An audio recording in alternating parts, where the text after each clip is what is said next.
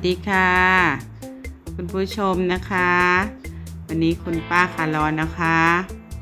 จะมาสาธิตวิธีการทำซุปมะเขือสำหรับทำขายนะคะ ก็มีคุณป้านะคะเป็นแม่ค้านะคะขายกับข้าวค่ะ ขายกับข้าวหลากหลายอย่างค่ะทำทุกภาคนะคะ ไม่ว่าจะเป็นอาหารเหนืออาหารอีสานอาหารภาคกลางนะคะ มีครบสลับสับเปลี่ยนหมุนเวียนกันไปค่ะ ก็วันนี้นะคะ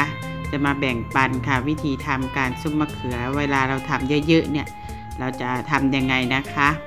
วันนี้นะคะคุณป้าใช้มะเขือก็ 3 กิโลค่ะ ใช้พริกจินดา 2 ขีดนะคะ แล้วก็จะใช้หอม วันนี้ใช้เป็นหอมหอมแขก ก็สองขีดเหมือนกันสองหัวใหญ่นะคะนะคะ แล้วก็น้ำปลาร้า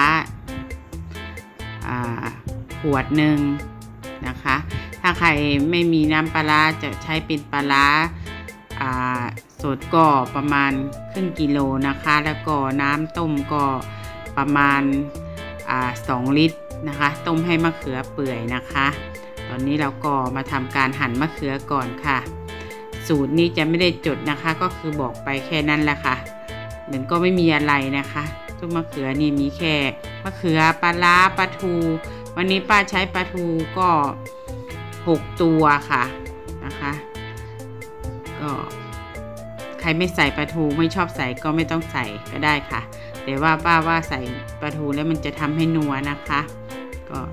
เนี่ยค่ะ มีปลาทูมะเขือ พริกนะคะ แล้วก็หอม แล้วก็ต้นหอมผักชีสะระแหน่แค่นี้เลยค่ะ ปลาล้าค่ะชุดรสน้ำปลาปกตินะคะเนี่ยค่ะ ก็หั่นมะเขือนะคะ หั่นแช่น้ำเกลือด้วยนะคะ กันมะเขือเราจะดำนะคะเนี่ยค่ะผ่าให้เล็กหน่อย เพราะว่าเราจะทำซุป เราจะต้องตำให้มันแหลกนะคะ แล้วก็เออแล้วก็มันจะต้มเปื่อยไวนะคะ เนี่ยค่ะหั่นไปนะคะ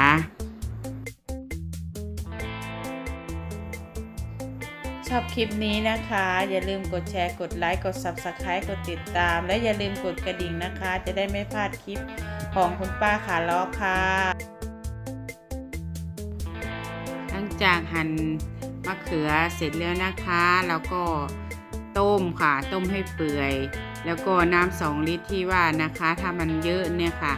เราก็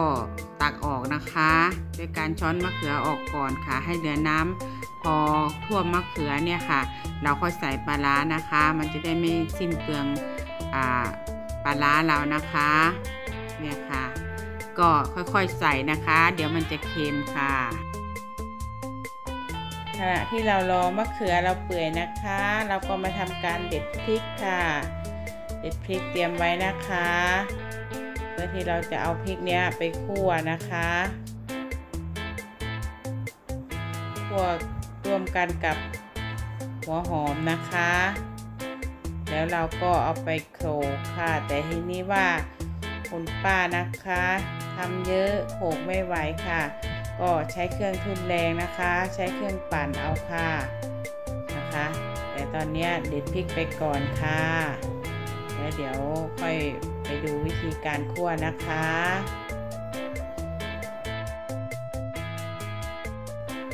แล้วทีนี้เราก็มาเตรียมหัวหอมค่ะ เราทำขายนะคะ ใช้หอมแดงก็มันตอนนี้หอมแดงมันแพงนะคะป้าก็ใช้เป็นหอมแขกค่ะหอมแขกนี่ก็สองหัวนี่ก็ประมาณ 2 ขีดค่ะ ปอกล้างน้ำนะคะ แล้วก็มาซอยค่ะ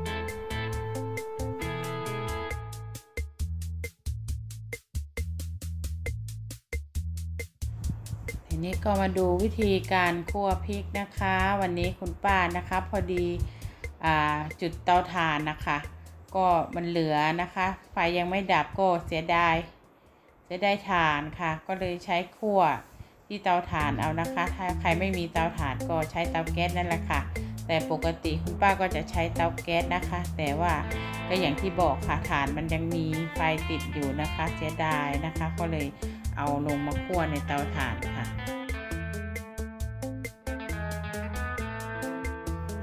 พอเราคั่วพริกไปได้สักพักหนึ่งนะคะดูว่าพริกก็จะสุกประมาณสัก 40-50%เนี่ยค่ะ เราก็ค่อยเอาหอมลงมาคั่ว รวมกันนะคะ เพราะว่าหอมนี่ก็มันเราซอยมาบางนะคะ มันก็จะสุกเร็วกว่าพริกค่ะ เราก็เลยต้องใส่ทีหลังนะคะ ถ้าเราใส่รองพร้อมกันก็หอมก็จะไหม้ก่อนนะคะ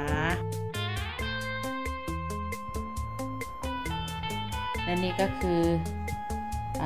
พริกกับหอมที่เราคั่วสุกแล้วนะคะนี่ค่ะ แล้วก็อย่างนี้แหละค่ะ ก็ตำเลยถ้าใครมีแรงตำนะคะ แต่คุณป้านี่ไม่มีแรงค่ะ ก็ใช้เครื่องบดเอาค่ะ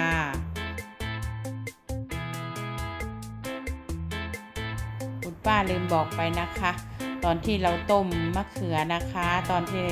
นั่นแหละเราก็ต้มปลาทูไปด้วยนะคะ ต้มลงไปกับมะเขือนั่นแหละค่ะ แต่ว่าเราช้อน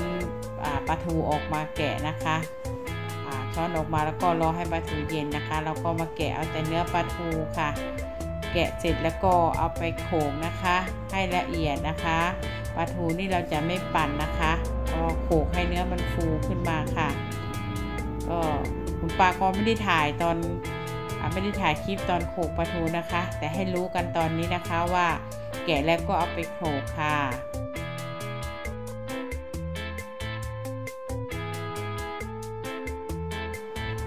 แล้วทีนี้ก็มาตำมะเขือนะคะ ในคกนั่นน่ะ คุณป้าก็ใส่ปลาทูไปแล้วนะคะ ลืมถ่ายให้ดูค่ะก็ในคกก็มีปลาทู แล้วก็ใส่มะเขือลงไปก็ใส่พริกที่เราคั่วนะคะ แล้วคุณป้าก็ไปปั่นไว้นะคะ พริกคั่วหอมคั่วปั่นแล้วแล้วก็เอามาโขกรวมกันตำรวมกันกับมะเขือนะคะ ด้วยว่ามันเป็นมีปริมาณเยอะนะคะคกก็ใบมันเล็กค่ะ ป้าก็แบ่งตำทีละชุดละชุดนะคะ อันไหนตามเสร็จแล้วป้าก็เอามาใส่หม้อด้านนี้นะคะ เห็นไหมคะเมื่อที่มีหม้อที่มีตะหลิวอยู่เนี่ยค่ะ จะเป็นส่วนที่ตำแล้วนะคะ ส่วนที่ว่า หม้อที่มีกระชอนเน้นอยู่นี่คือมะเขือที่ต้มนะคะ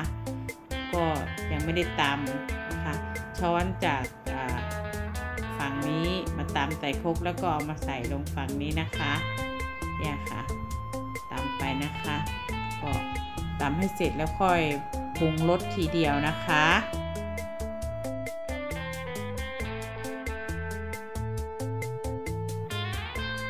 นี่นะคะ ตำก็ให้แหลกประมาณนี้ค่ะ แล้วก็เอาไปใส่หม้อรวมกันนะคะ เพื่อที่เราจะปรุงรสด้วยกันนะคะเนี่ยค่ะแบ่งมาตำทีละหน่อยละหน่อยนะคะ ก็คือแบบว่าเอาที่เราถ้าเกิดว่าเรามาใส่เยอะมะเขือมันลื่นอะ มันก็จะตำไม่ค่อยแหลกนะคะแล้วก็เออเอามาทีละประมาณเนี้ค่ะ เสร็จแล้วก็คือนี่คือน้ำต้มมะเขือที่มีน้ำปลานะคะ ป้าก็เอามาล้างโคกนิดนึงนะคะ มันเป็นเคล็ดลับค่ะนะคะ น้ำล้างโคกคือเคล็ดลับความอร่อยนะคะเนี่ยค่ะ อันนี้พูดจริงนะคะ น้ำล้างโคกเนี่ยค่ะนี่ค่ะนะคะเป็นน้ำปลานะคะ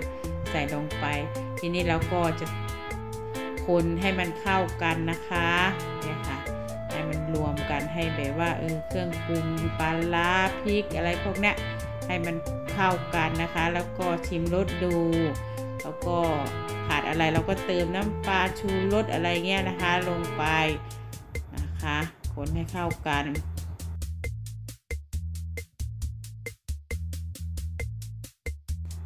นี่นะคะ คือหน้าตาซุปมะเขือของเราค่ะ ที่เราตำแล้วเราก็คนรวมกันนะคะ ก็จะได้ออกมาประมาณนี้นะคะ เสร็จแล้วนะคะ เราก็ไปเตรียมต้นหอมผักชีนะคะ ก็ไม่ได้ถ่ายคลิปตอนซอยนะคะ ต้นหอมผักชีเนี่ยค่ะ ก็ซอยเสร็จแล้วก็ให้ดูแบบนี้เลยค่ะเนี่ยนะคะเอาไว้โรยค่ะ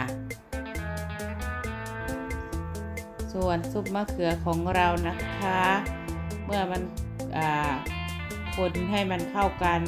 ได้ที่แล้วนะคะ เราก็นำมาตั้งไฟอีกรอบหนึ่งนะคะ ให้มันเดือดนะคะนะคะ เพราะว่าตอนที่เราทำมันก็มีหลายขั้นตอนนะคะแล้วก็เออกลัวมันจะปนเปื้อนสิ่งบูดเชื้อโรคจุลินทรีย์อะไรเงี้ยเราก็มาตั้งไฟให้มัน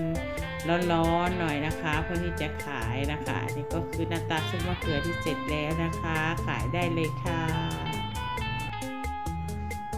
คำนวณต้นทุนนะคะ มะเขือนะคะ3โลค่ะ โลละ 10 บาทนะคะก็ 30 ค่ะ แล้วก็ปลาทูนะคะปลาทูก็อ่าสามเข่งเข่งละ 20 บาทนะคะ ก็ 60 ค่ะ แล้วก็มีพริกนะคะ2ขีด20 ค่ะ ก็ หอมแขก2ขีด15 ค่ะ แล้วก็มีต้นหอมผักชีนะคะ ประมาณ 30 บาทค่ะ รวมทั้งสาระแหน่นะคะ แล้วก็ปลาร้าค่ะปลาร้าครึ่งโลหรือว่าขวดหนึ่งเนี่ยค่ะ ก็ 25 บาทนะคะ แล้วก็คิดชูรสน้ำปลานะคะ มาสักอย่างละ 5 บาทค่ะ รวมๆต้นทุนก็ประมาณ 200 นะคะ แล้วก็ขายถุงละ 20 บาทนะคะหม้อนี้คุณป้าตักได้ 25 ถุงนะคะ ขอบคุณที่รับชมนะคะ อย่าลืมกดแชร์กดไลค์กด Subscribe กดติดตามให้คุณป้าขาล้อด้วยนะคะ ขอบพระคุณค่ะ